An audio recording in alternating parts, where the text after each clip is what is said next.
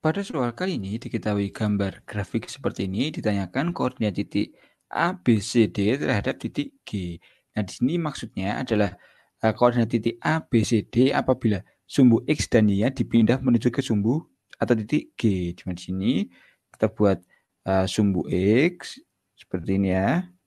Dan sumbu Y-nya seperti ini. Nah, bagaimana koordinat titik uh, A, titik B, titik C, dan titik D yang baru apabila uh, sumbunya digeser menuju ke titik G seperti itu. Sehingga di sini uh, untuk titik A saya tuliskan ya.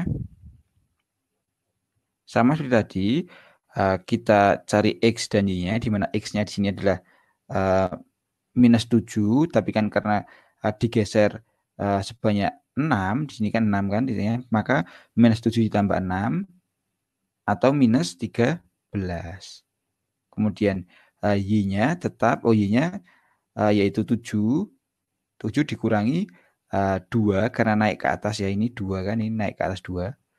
Maka menjadi uh, 7 dikurang 2 yaitu 5. Selanjutnya untuk koordinat titik B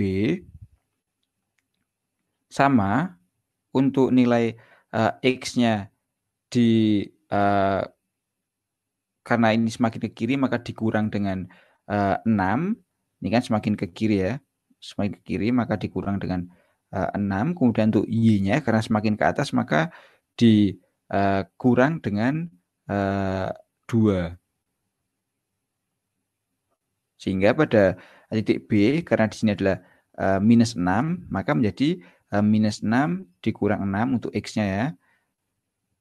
Kemudian koma uh, y-nya yaitu 4 ya di sini ya 4 4 dikurang 2.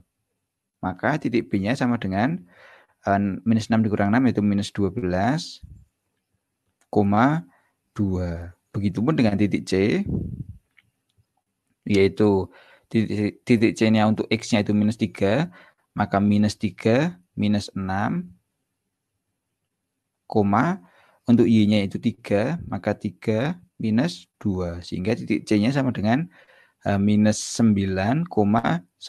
Nah, untuk titik D, untuk titik D, uh, titik D, X-nya adalah 0, maka uh, 0 dikurang 6, koma, uh, Y-nya adalah 2 dikurang uh, 2. Maka untuk titik D sama dengan uh, minus 6,0.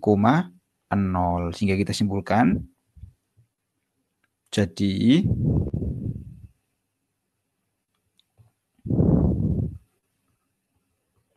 koordinat titik yang baru atau koordinat titik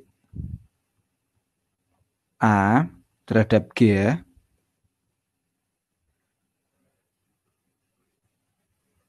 Itu adalah atau sama dengan uh, minus 13,5 kemudian uh, titik B sama dengan uh, minus 12,2 kemudian lanjut ke uh, titik C yaitu Eh, minus 9,1 dan yang terakhir adalah titik D yaitu minus 6,0. Sekian pembahasan soal kali ini. Terima kasih.